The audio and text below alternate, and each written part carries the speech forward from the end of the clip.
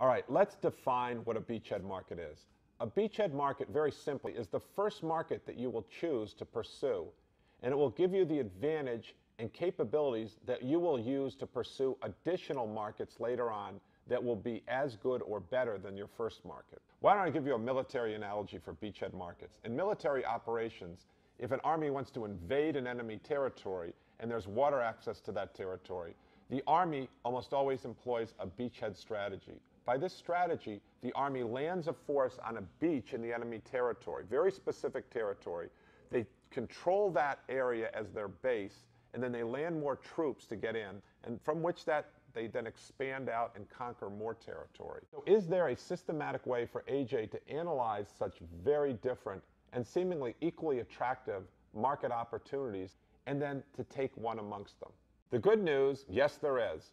I suggest the following model, which consists of seven questions. First of all, does your customer have the money to pay for your product? That might seem obvious, but you need to check. Is there money to pay for the product? Oh, by and far, the, the healthcare industry had the most money. As everyone knows, government spending and healthcare spending are going completely through the roof. It's the fastest growing industry in the United States right now, second to 3D printing. The second question that you and AJ also have to ask is can you easily get the product to your customer? Is the customer accessible to you? What we found is the education space, we have the easiest access to our customers because there's so many of them. By and large, when you look at education in the United States, it's primarily public education, which means there are public registries of all these schools, where they're located, contact information, the, the budget that they have every year. It's a very transparent industry to be getting into. Thirdly, does the target customer have a strong reason to buy your product? That is, do you have a strong value proposition? Really, the value that our technology brings is ease of sharing. So there's a few that come off, come to mind immediately. It's a manufacturing facility, a school, or somebody who wants to just share it with their friends, a do-it-yourselfer of sorts. The fourth question is, can you deliver the whole product? You can't just deliver a partial product.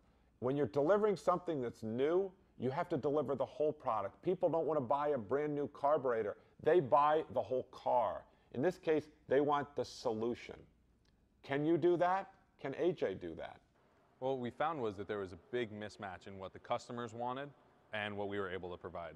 They had already gone out and spent a few thousand dollars on their 3D printer and didn't want to spend a few thousand more to make it better when our bill of materials was higher than that. Didn't make any sense to us from a business standpoint to try and just sell upgrades to 3D printers.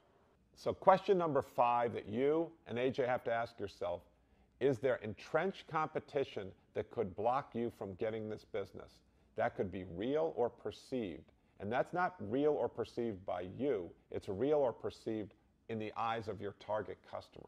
The biggest competition that we faced was in the aerospace industry, the medical industry, and in the engineering and design industries. Sixth, it's very important to understand that if you win this market, can it help you win other segments as well? The question is, is this a strategic market that will give you capability, credibility to win other markets that will be equally profitable or more profitable for you? I really see 3D printing as being a very generational thing in the sense that all of the markets that are being currently occupied by conventionally educated people, as I like to think about it, engineers who are creating solutions to problems thinking in a conventional sense are never going to think outside of the box as far as design is concerned with a 3D printer. So really the industries that I see 3D printing being the most valuable are the ones that are the most forward looking. And in that case, I see that education being the one where you're really going to make a difference in how people think about something. Seventh, is the market consistent with the values, passions, and goals of the founding team? For instance, as AJ looks at this, is this something that they're going to feel comfortable doing for the next six years? Are there personal financial goals, something that they need to realize in a three year time horizon, and their market that they're looking at might require 10 years to mature? These are important questions for you to think about and AJ to think about as he selects a beachhead market. One of the biggest issues that we were facing is when we first started this company, we were we essentially wanted to become a modification to current 3D printers. We wanted to go after people who were thinking about building their own 3D printer, who had built their own 3D printer, or an engineering company that owned one and wanted to modify it to make it better. So we found out that there was a mismatch between what they were willing to pay for the rest of the solution. We didn't want to create a product that we didn't know was going to work for sure.